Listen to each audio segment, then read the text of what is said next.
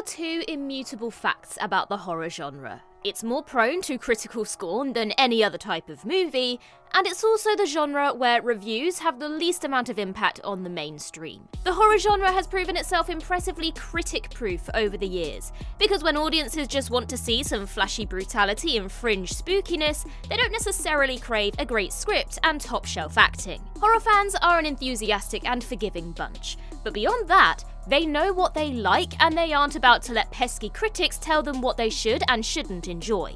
This likely explains why there's sometimes a massive divide between the critical and audience reception of a new horror movie. Now, we have already done a list on this very topic, but because the horror genre loves nothing more than sequels, I'm here with some more. So, I'm Ellie for WhatCulture here with 10 more horror movies hated by critics but audiences loved. Number 10 Underworld. Critics didn't have much kind to say about Len Wiseman's 2003 vampire werewolf actioner Underworld, largely dismissing it as a stylish yet monotonous genre exercise that came and went without making much of a dent. But general viewers had way more of a blast, per its 79% audience approval rating, not to mention the fact that it was a surprise box office hit, grossing almost $100 million worldwide, and in turn kickstarting a wildly popular, if consistently critically eviscerated, five film franchise. Needless to say, the prospect of watching Kate Beckinsale kick ass in skin tight PVC was far more alluring to audiences than critics,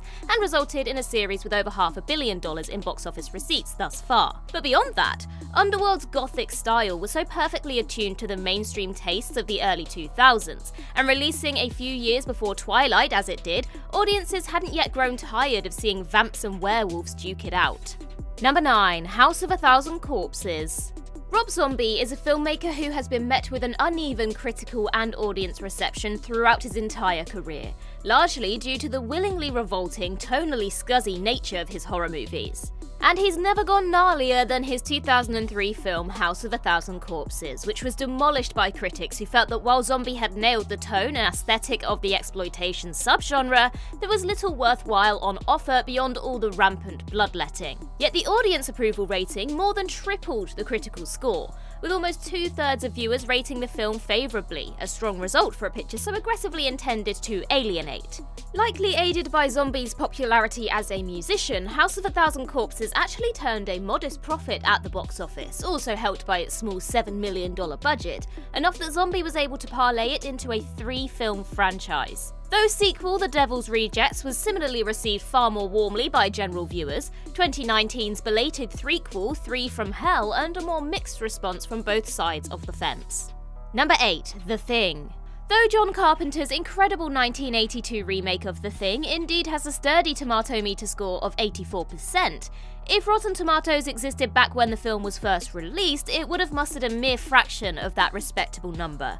Initially, the thing endured an extremely frosty reception from critics, who dubbed it for its nihilistic tone and nauseating gore effects, with even the great Roger Ebert stating that the film didn't offer much depth outside of its impressive practical effects work. Hell, the tide was so firmly against the thing that the glorious synth score bafflingly received a Worst Original Score nomination from the Razzies. Above all else, the thing was perhaps a victim of poor timing, releasing in the same year as less grotesque, more mainstream skewing sci fi films like E.T., Blade Runner, Poltergeist, and Star Trek II The Wrath of Khan, and seeming quite unappealing by comparison. Though it flopped at the box office, the movie was reclaimed on home video, where genre enthusiasts discovered and embraced it enough that its esteem skyrocketed throughout the 1980s and 90s. This resulted in a major critical turnaround, and The Thing ultimately joining the ranks of the most acclaimed sci fi horror films of all time. Number 7 Fallen.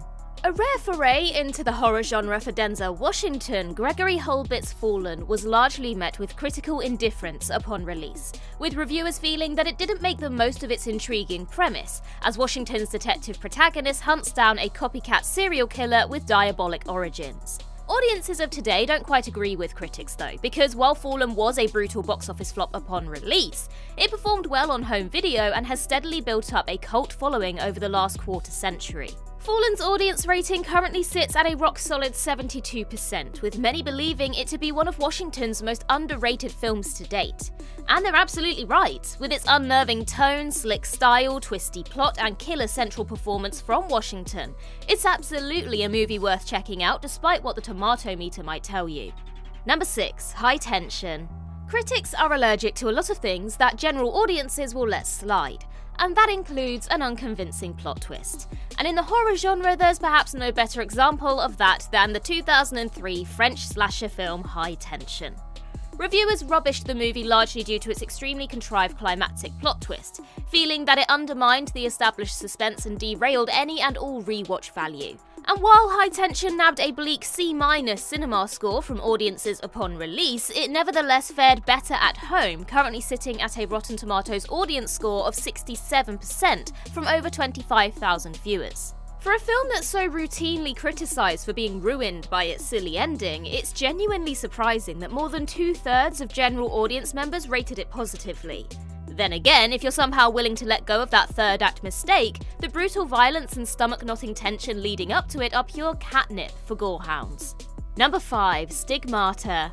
Horror films centered around religion, and especially exorcisms, have a strange tendency to perform much better with general viewers than critics, perhaps because the latter have sat through literally hundreds of these things over the years. Case in point, 1999's Patricia Arquette starring supernatural horror Stigmata was disdained as unconvincing and poorly acted by reviewers, with Roger Ebert even calling it, quote, possibly the funniest movie ever made about Catholicism. For his performance, Gabriel Byrne, meanwhile, received a Worst Supporting Actor Razzie nomination. Uh, yikes. But audiences en masse didn't much agree, with the film both being a solid box office success and to date sitting at 63% on the viewer tomato meter. Though Stigmata isn't exactly held up today as an underrated gem a la Fallen, it did nevertheless hit the basic Exorcist knockoff beats effectively enough to pass the sniff test with the mainstream. Sometimes that's enough. Number 4. Stay Alive. Stay Alive was one of horror's great critical punching bags of the mid 2000s a thoroughly risible piece of work in which those who die in a popular online video game start dying in real life. Reviews had almost nothing kind to say about Stay Alive, panning the writing, direction, and performances across the board.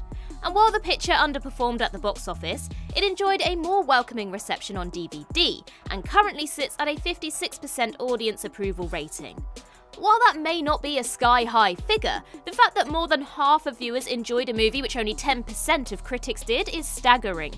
It likely helps that Stay Alive has been reclaimed by genre fans in recent years as something of a campy cult classic. Enough that writer director William Brent Bell revealed, or maybe threatened, in 2022 that he's working on developing a sequel. Number 3 Queen of the Damned. 2002's Queen of the Damned, a standalone sequel to Interview with the Vampire, was given a critical whipping upon release, with the press ridiculing its chaotic filmmaking style, absurd dialogue, and bevy of unintentional comedy. The film did nevertheless top the box office in its opening weekend, though ultimately still underperformed against its budget, yet today sits at a solid 66% audience approval rating from more than 250,000 viewers, almost an entire 50% higher than the critical metric of 17%. There are a few obvious explanations for this. First and foremost, Queen of the Damned was the final film role of singer actress Aaliyah, who died in a plane crash shortly after principal photography wrapped. The appeal of seeing her in her final screen role speaks for itself, while general viewers were also likely far more amenable to the film's MTV style editing, shameless peddling of gore and skin, and generally campy vibe. Though author Anne Rice herself rubbished the film as, quote, mutilation of her work, it nevertheless won over the great many casual viewers just looking for some sexy, bloody, undemanding, vampiric silliness. Number 2 Five Nights at Freddy's. Over the last year, no horror film has divided critics and audiences more starkly than the long awaited big screen adaptation of beloved video game Five Nights at Freddy's. Critics gave the movie a fair mauling, criticising its confusing lore, tame PG 13 rating, overlong runtime, and lack of appeal for those who haven't touched the source material.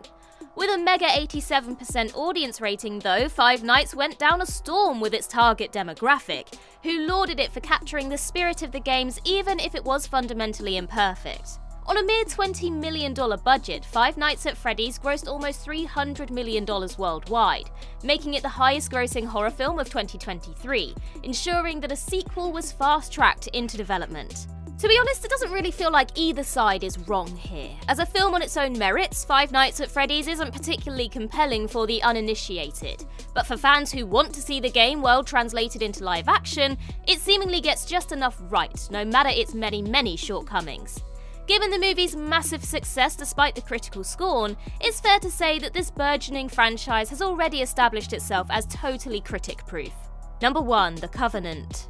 We've saved the most epic chasm between critical and audience opinion for last, as 2006's supernatural horror The Covenant was utterly pilloried by the press, who felt that it was a laughable genre outing defined by poor acting, awful dialogue, and wonky visual effects. Despite its mere 4% tomato meter rating, it received a more favourable B- cinema score from audiences, even though The Covenant still underperformed at the box office. However, it's another critically savaged horror film which enjoyed a more positive response at home, as almost two decades on, The Covenant has a 62% audience score, a whole 58% higher than what critics gave it. There is one easy way to explain the difference though. Films marketed aggressively towards teenage audiences tend to score highly no matter the reviews, and in the case of this movie, the cast, including the hunky likes of Steven Strait, Sebastian Stan, and Chace Crawford, likely did a world of good too.